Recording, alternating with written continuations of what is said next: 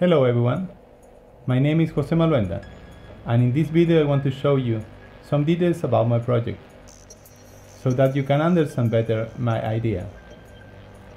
I hope you will like it. As you could read in my presentation, in my work I combine the figure of Statue of Liberty and Maneki Neko in order to make a reflection about the current global economy and political situation, where the USA is the thinking head and China represented with the body of Maneki Neko is the workforce and those who manufacture the products.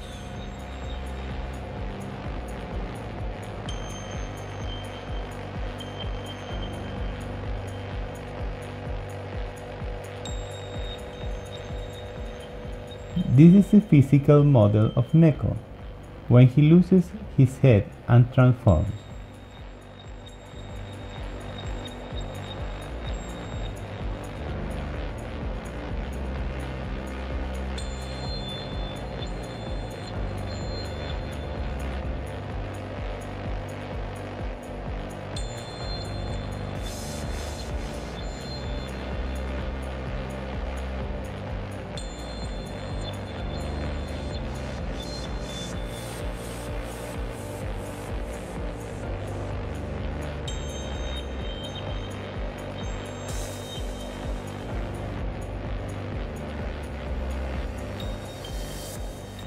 The other thing is these simple renders.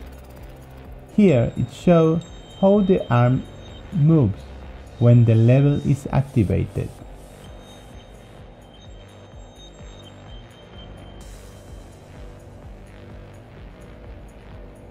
In this render, you can see the rotary platform where I wanted to show the disco ball effect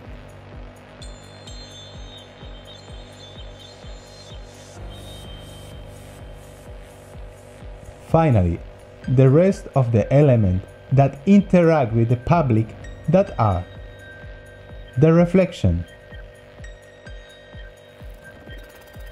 the light,